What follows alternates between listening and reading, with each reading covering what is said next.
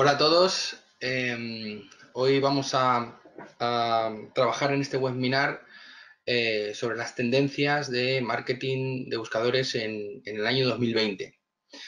Eh, sobre todo teniendo en cuenta que, bueno, que estamos muy acostumbrados a, a ver eh, muchos eh, mensajes, ¿no? De que, donde, o muchos artículos, ¿no? En blogs y en noticias que nos dicen tendencias para 2020, tendencias para 2021, eh, qué es lo nuevo en marketing para 2019. Entonces, eh, yo un poco apartándome de esa, línea, eh, lo, que, he tratado de definir es las tendencias que se mantienen, es decir, algo, tendencias pues, que llevan 3, 4, 5 años manteniéndose y que son importantes para eh, montar una estrategia en buscadores y lo que cambia, es decir, lo que, las novedades más importantes que vienen en, el año eh, 2020. Bien, dicho esto, dicho esto, eh, ¿de qué vamos a hablar en este seminario? Vamos a hablar, en primer lugar, muy brevemente, de lo que es el SEO, de lo que es el posicionamiento en buscadores, eh, seguidamente hablaremos de por qué es bueno estar posicionados en Google.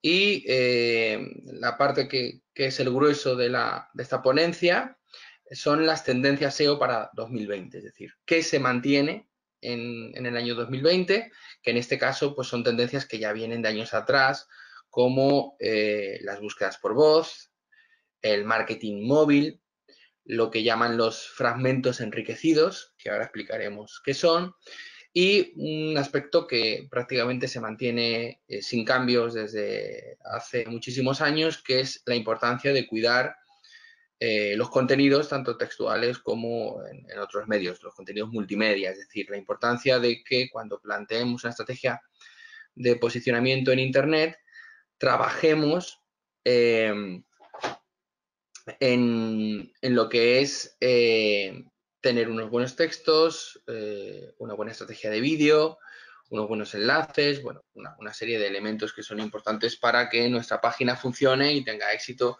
en el mercado en el que nosotros estemos operando o bien si, si operamos a, a nivel eh, global. Y por último veremos qué cambia en SEO y sobre todo hablaremos de un cambio muy importante que ha llegado en el último trimestre del año 2019, que es una modificación del algoritmo de Google, eh, sobre todo eh, centrado en la inteligencia artificial. Es decir, es la integración de las búsquedas de Google con la, la inteligencia artificial, lo que va a permitir, por ejemplo, que el buscador encuentre sentido a las frases que hay escritas, ¿no? Y en ese sentido, bueno, pues esto agilizará mucho la búsqueda en determinadas plataformas, sobre todo en dispositivos móviles. Bien, le lanzo la pregunta al público que nos está siguiendo, eh, a ver si alguno se anima a responder a través del panel de preguntas qué es el SEO.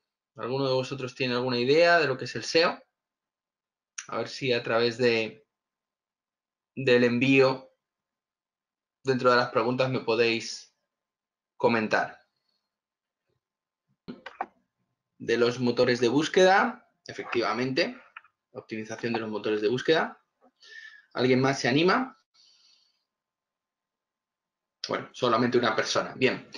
Eh, efectivamente, el SEO es una estrategia eh, que consiste en la optimización de nuestros contenidos para aparecer mm, de manera conveniente en eh, los resultados de búsqueda. Ahora bien, hay que establecer una primera eh, diferenciación, que es la diferencia que existe entre SEO y SEM. ¿vale? Por una parte, el SEO es eh, trabajar con contenidos y ofrecer resultados que aparecen de manera natural, y el SEM es eh, poner en marcha estrategias de marketing, en ocasiones pagadas, para que la información o nuestro, nuestros avisos aparezcan. A ver que tenemos más compañeros.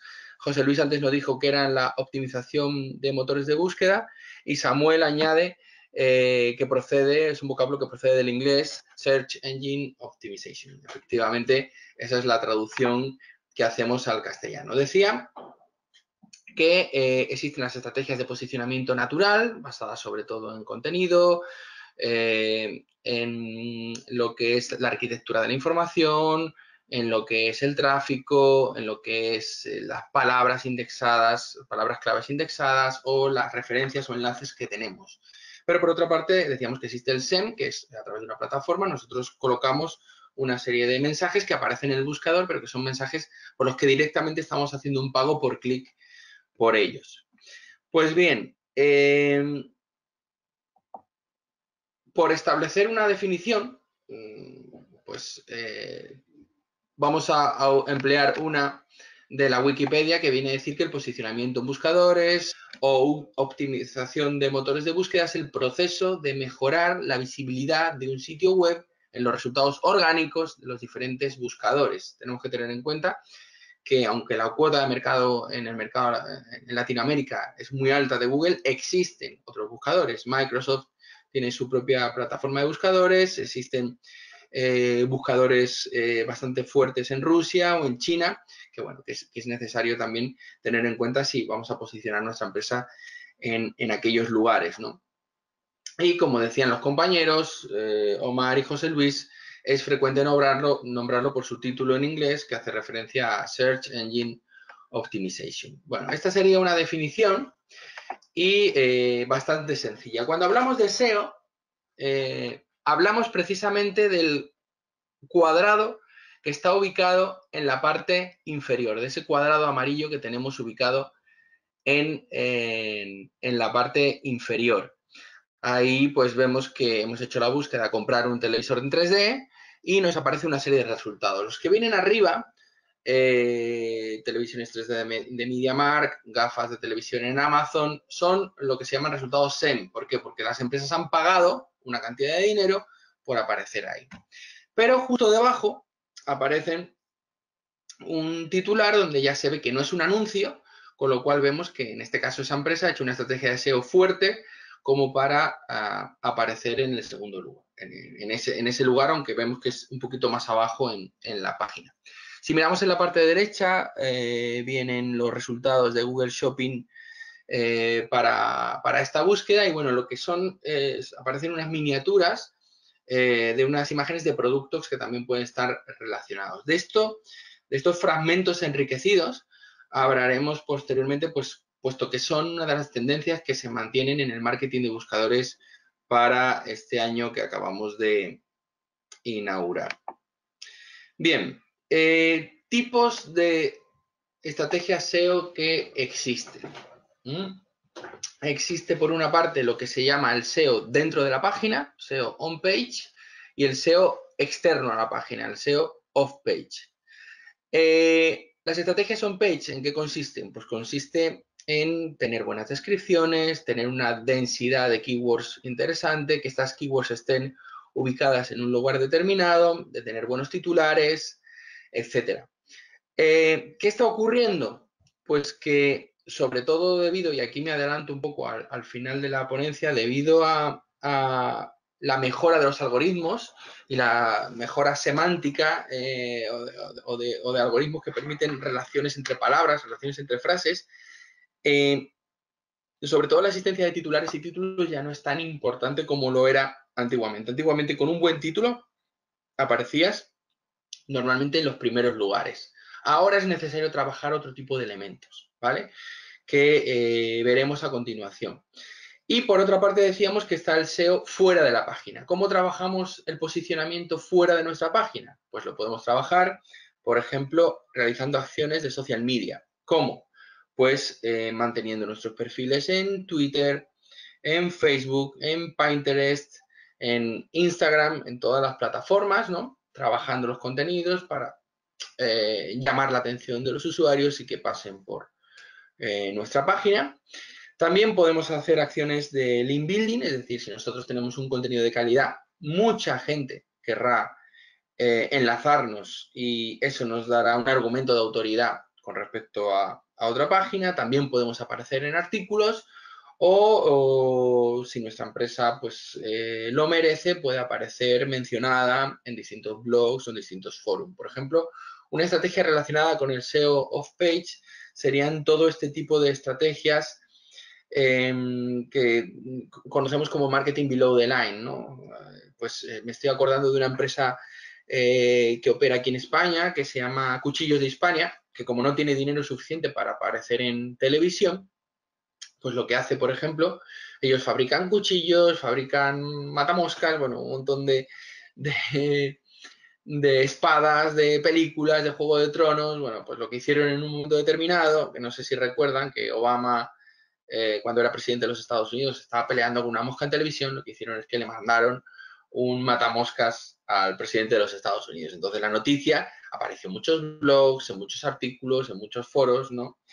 Y, bueno, eh, son acciones simpáticas, acciones graciosas, pero que de alguna manera tienen cierto, cierto eh, calado, ¿no? O, por ejemplo, en un momento en el que en España pillaron en el Congreso de los Diputados a una eh, diputada jugando con su tablet, pues creo que el tipo de esta empresa le envió un soporte para su tablet, ¿no? Para que no lo estuviera agarrando con la mano, ¿no?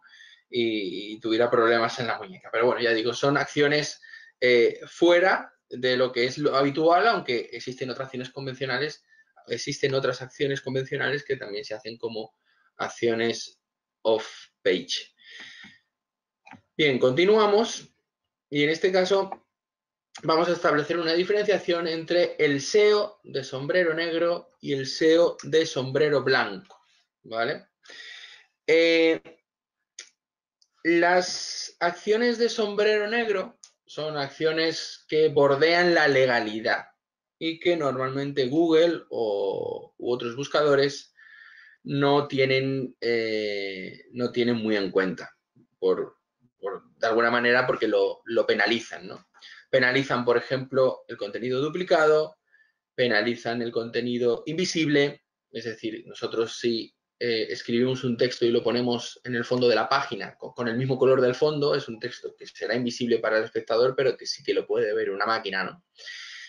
O eh, redirecciones de una página o enlaces a páginas no relevantes. Cuando hacemos Black Hat SEO, lo que mm, corremos el peligro de eh, tener ciertos problemas. Por ejemplo, podemos tener el problema de de eh, que nuestra página sea penalizada. En este caso, lo que hace Google es que te manda a la playa, te manda al Google Sand, te manda a la arena para que allí, bueno, pues estés un tiempo purgando tus pecados mientras que eh, efectúas las mejoras para, no cometer ilegalidades según su punto de vista. Eh, ¿Qué estrategias son estrategias white hat, estrategias de sombrero blanco? Pues usar contenido relevante, etiquetar bien las imágenes, usar eh, enlaces relevantes, eh, escribir bien y eh, sobre todo trabajar con estándares del código HTML. En ese sentido, bueno, pues, pues, pues, todo lo que se haga con pulcritud tenderá a funcionar mejor. Bueno, no sé si hasta el momento tenéis algún tipo de duda. Eh, que me queráis consultar sobre los aspectos que hemos trabajado. Si os parece, las, podéis ir anotando en la sección de preguntas y si bien las, las voy respondiendo ahora o bien las dejamos para el final para que podamos allí este, trabajarlas. ¿Tenéis alguna duda en este momento? Luis no tiene ninguna duda por el momento. Todo claro. Perfecto. Gracias, Luis, por el feedback. Continuamos entonces. Eh, ¿Por qué es bueno estar bien posicionado en Google? Nos preguntaremos, bueno, pues, eh, ¿por qué es positivo ¿no? trabajar el SEO? Bueno, pues lo vamos a, resumir. Por una parte, porque es interesante eh, alcanzar a mi público cuando le surge una necesidad. Normalmente nosotros cuando nos conectamos a un buscador es que tenemos la necesidad de algo o bien de agarrar el autobús, o de planificar un viaje para las próximas vacaciones, o de comprar una nueva plancha en nuestra casa, o de buscar colegio para nuestros hijos, ¿no? Entonces, eh, el estar bien posicionado garantiza que nuestra empresa aparezca eh, cuando a una persona le surge una necesidad, ¿no?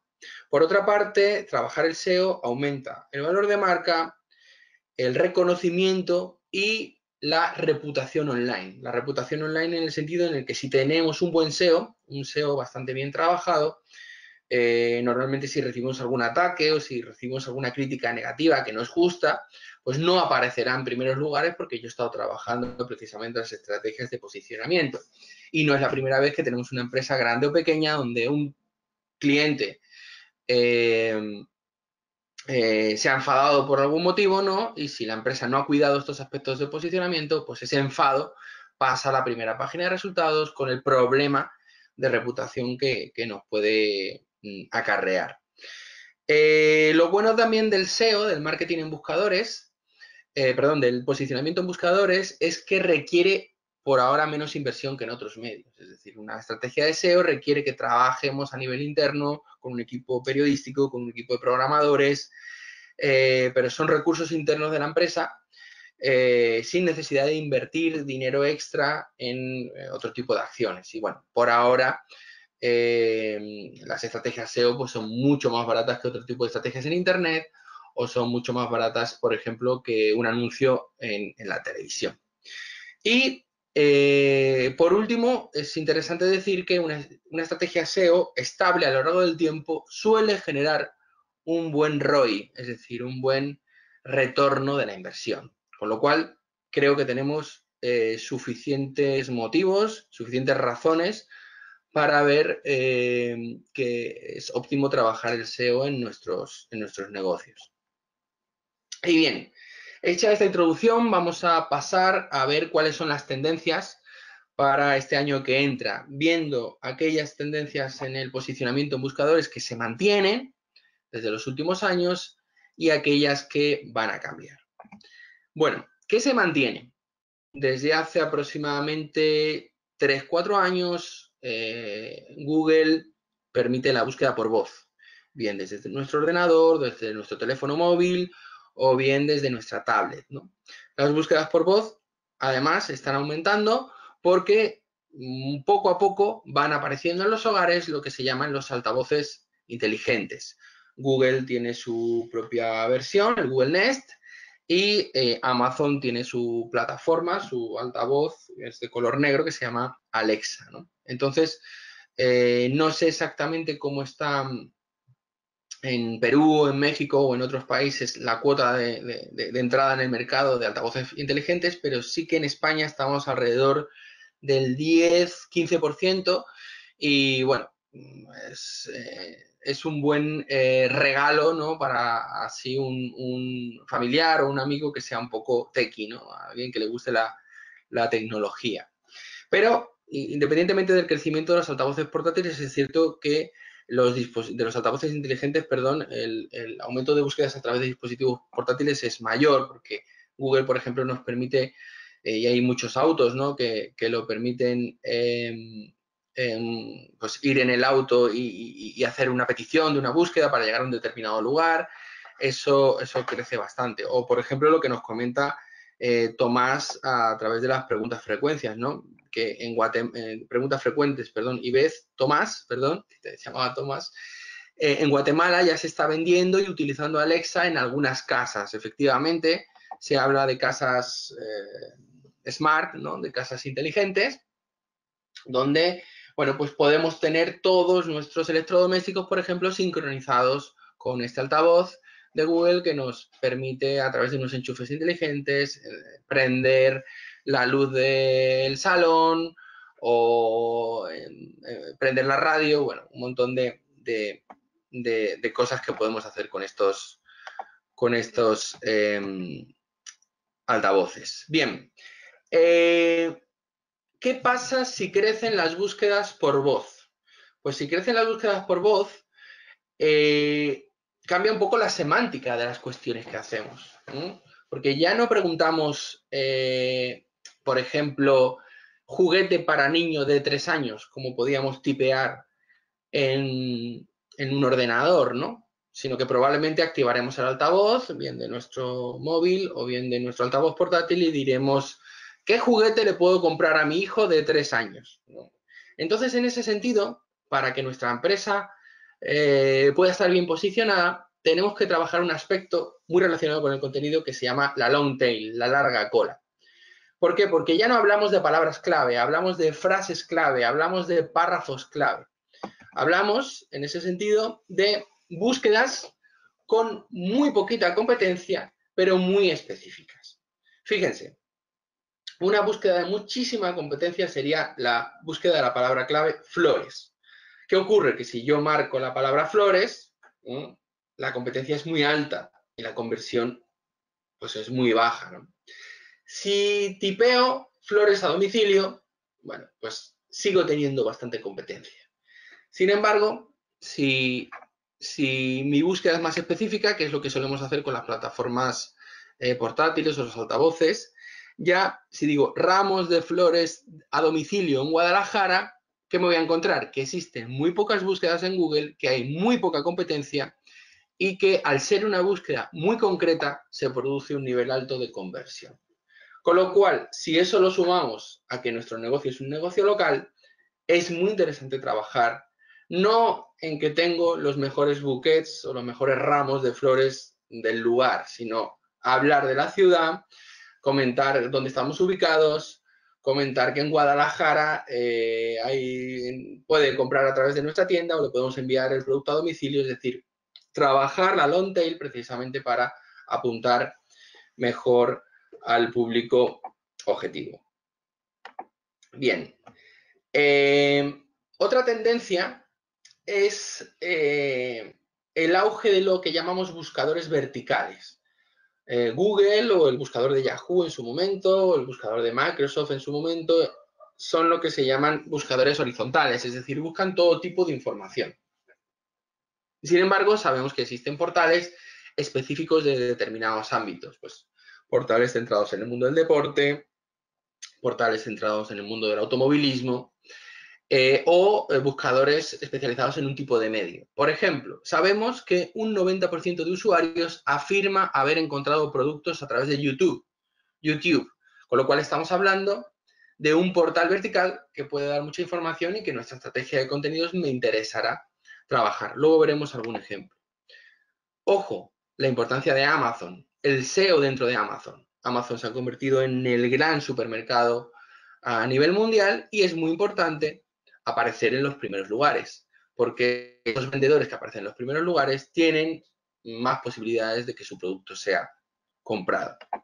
Y también podemos hablar de las búsquedas visuales, es decir, la importancia de eh, estar en plataformas como Instagram o estar en plataformas como Pinterest. Si, por ejemplo, yo vendo eh, productos muy relacionados con la belleza, con la ropa, con el lujo, eh, Instagram o Pinterest son aplicaciones muy interesantes.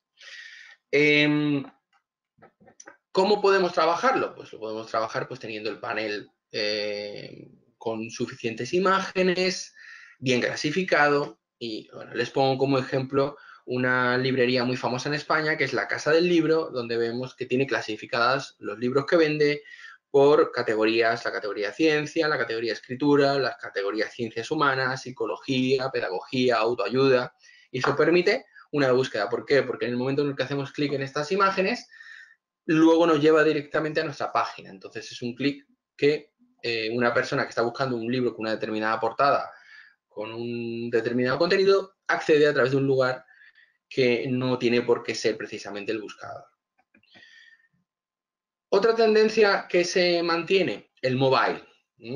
Eh, no sé si conocen Google Discover. Google Discover es eh, esta imagen que aparece a la derecha, que es cuando abrimos el panel de Google, normalmente en nuestro móvil nos aparece un montón de noticias relacionadas o eventos relacionados. En mi caso aparecen los resultados de mi equipo de fútbol favorito, las noticias de mi ciudad o noticias relacionadas con la tecnología, el comercio electrónico y los buscadores.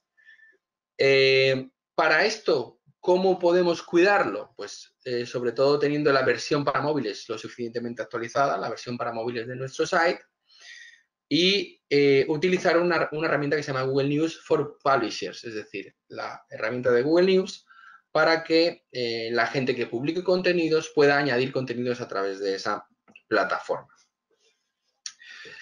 Un tema muy relacionado con, lo anterior es precisamente el, hecho de que nuestras páginas sean lo suficientemente rápidas.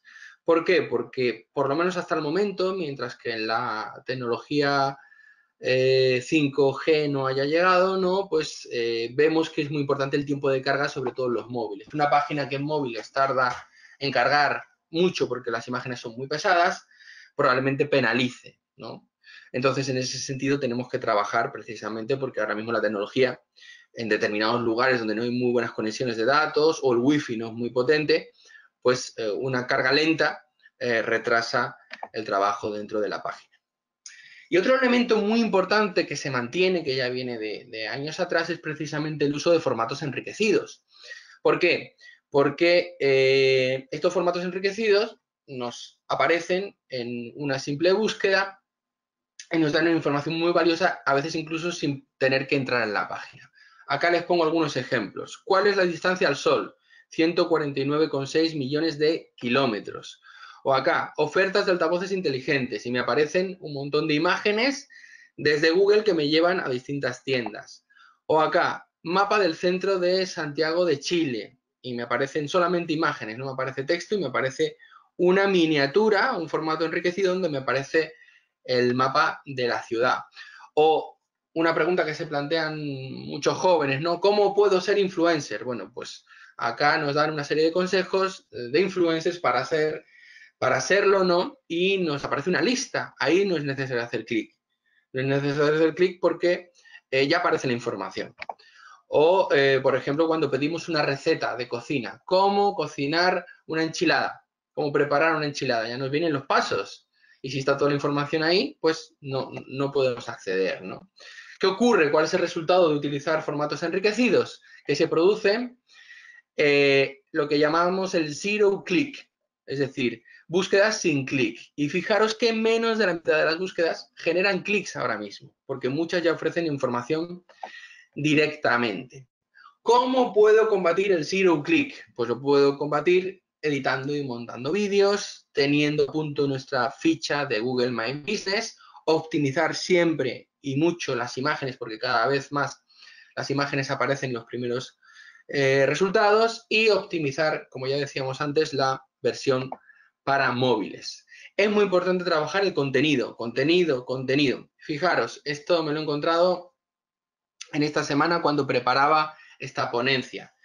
Eh, yo trabajo eh, en mis ratos libres para un portal de internet eh, de la comarca de donde son mis papás y bueno, pues había escrito un, artículo sobre los miradores más espectaculares de esta comarca que por supuesto les invito a visitar. Pues bien, aparece precisamente como fragmento enriquecidos. Cinco miradores espectaculares que no puedes perderte en la comarca de Sayago, en Zamora. Y ya viene la información ahí descrita. Entonces, ¿cómo podemos frenar lo del zero click? Pues trabajando el contenido. ¿Por qué? Porque si tengo un buen contenido, seguiré apareciendo en las búsquedas de lugares relevantes. Por ejemplo, si yo busco montar un mueble, eh, fijaros que nos aparecen arriba, eh, nos aparecen em, un, enlace pagado, ¿no? un link, un anuncio tipo SEM, pero debajo ya aparecen distintos vídeos. Y el primero, si, os fijáis, de montar un, mueble es, un, anuncio de Leroy Merlin, que es una cadena de muebles muy famosa. Si yo centro un poquito más la búsqueda y pongo montar un armario modular, ya tengo dos vídeos, en primer lugar, que me aparecen de esta cadena, que está trabajando muy bien en marketing de contenidos.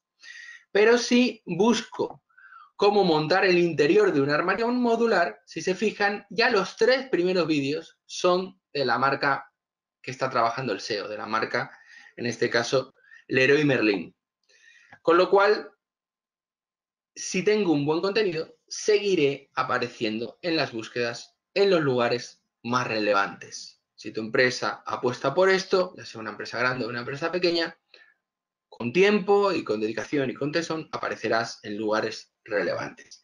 Y estas serían las tendencias de lo que permanece, de lo que se mantiene eh, en el año 2020. Sin embargo, cambia. Pues en el año 2020, sobre todo, cambian las actualizaciones de Google. No voy a pararme acá porque, porque es una cuestión muy técnica, ¿no? Pero Google va modificando su algoritmo a lo largo del tiempo. La primera gran modificación fue en Google, eh, fue el Google Panda en 2011, donde detectaba los contenidos duplicados. Posteriormente hizo una actualización en 2012, hizo dos entre los años 2012 y 2013 y recientemente ha hecho eh, una actualización del algoritmo que se llama Florida, donde clasifica mejor los resultados, donde mide la usabilidad, la privacidad, la seguridad y los enlaces se miden por su relevancia y no por la cantidad. Es decir, van cambiando los criterios de búsqueda, pero dentro de esas modificaciones, la gran modificación es el nacimiento de Google BERT. Google BERT, que quiere decir esta BERT, Bidirectional Encoder Representation of Transformers, lo que pretende es comprender y procesar el lenguaje natural, comprender y procesar lo que nosotros hablamos eh, cuando nos estamos relacionando con otros o con una máquina. Este Google BERT viene a cambiar las reglas del juego porque eh, analiza las frases en su contexto, no solo fijándose como antes en las palabras clave. ¿Y Google por qué hace esto? Porque quiere seguir creciendo en cuota de mercado y porque se ha dado cuenta que un 15% de las búsquedas son nuevas cada año.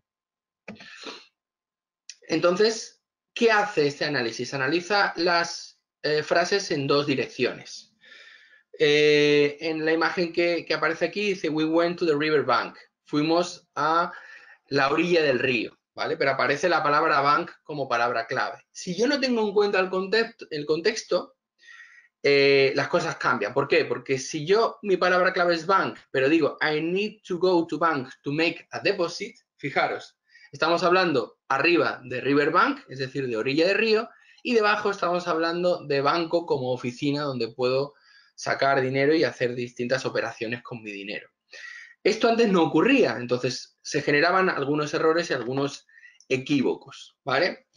Acá tenemos, por ejemplo, un, ejemplo interesante, ¿no? Si tú buscas ahora mismo 2019, eh, ¿qué necesita un, viajero brasileño eh, para viajar a Estados Unidos? Si necesita visa o algo así, los resultados son muy diferentes antes que ahora, porque por una parte, al no contar con la preposición tú, se centraba en los viajeros estadounidenses que viajaban a Estados Unidos perdón, que viajaban a Brasil. Sin embargo, la pregunta iba por otro lado, ¿no? Es decir, las personas brasileñas sí necesitan visa para viajar a los Estados Unidos.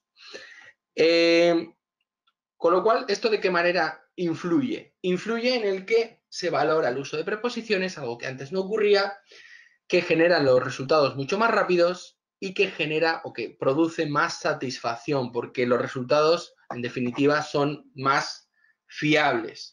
Con lo cual, ¿esto qué implica? Implica crear contenidos coherentes y claros.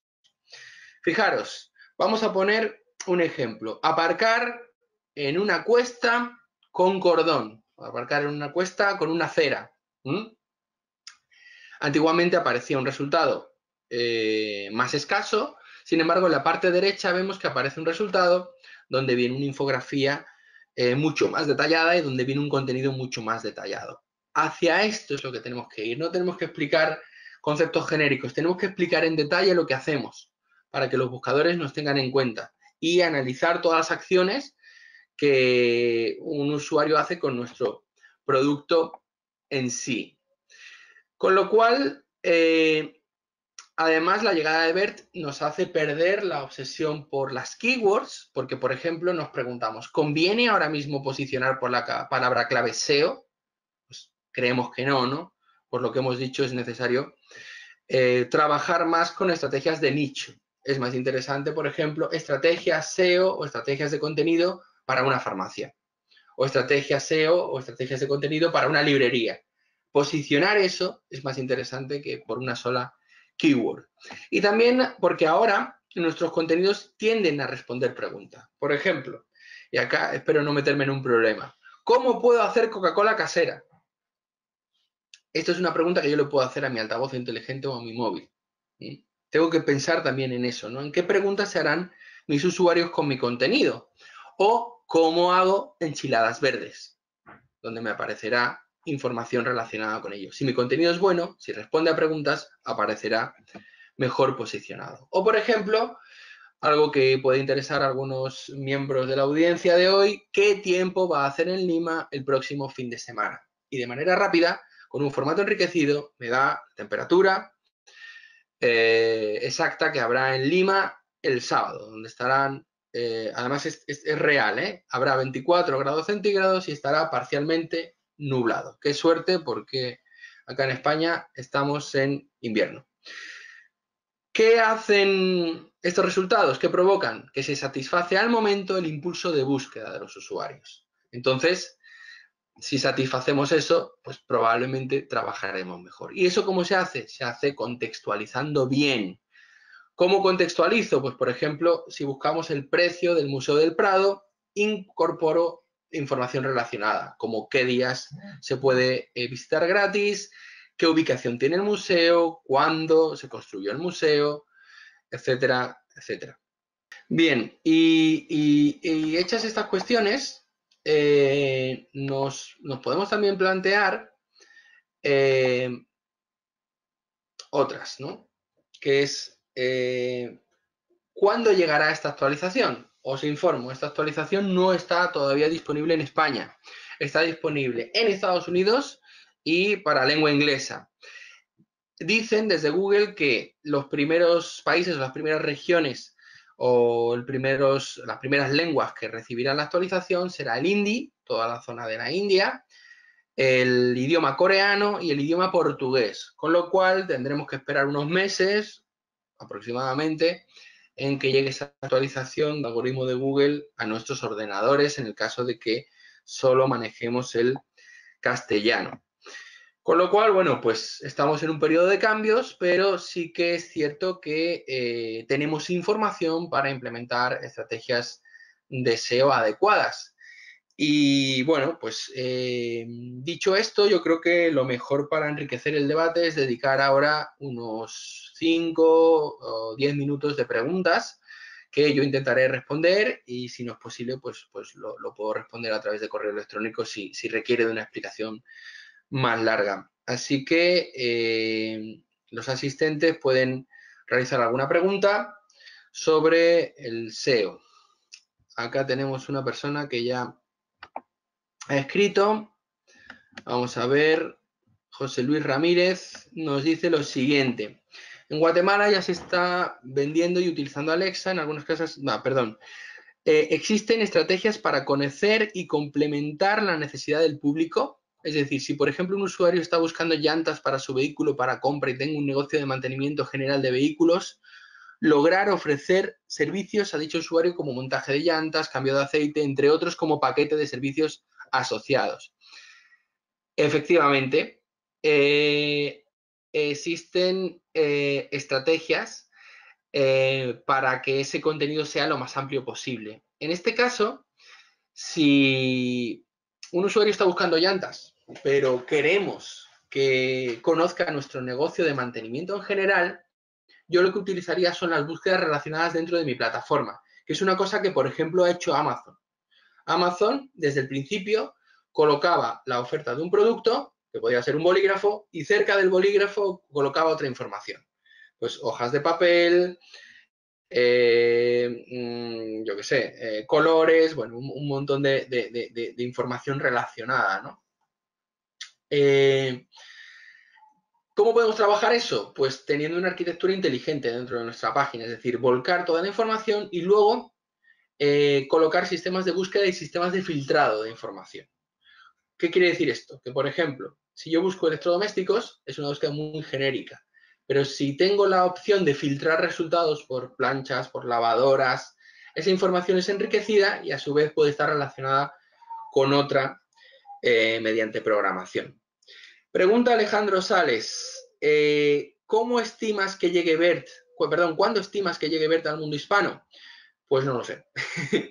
te mentiría si te dijera una fecha, pero yo calculo que en el segundo semestre de este año ya el sistema estará implementado, porque se trata de extender el algoritmo a otros lenguajes y si ya están avanzando en el hindú, en el coreano y en el portugués, no creo que tarde mucho en llegar al mundo latinoamericano. Lo que sí que es claro, Alejandro, es que tenemos que estar suficientemente preparados con algunas de las, de las cuestiones que hemos visto hoy.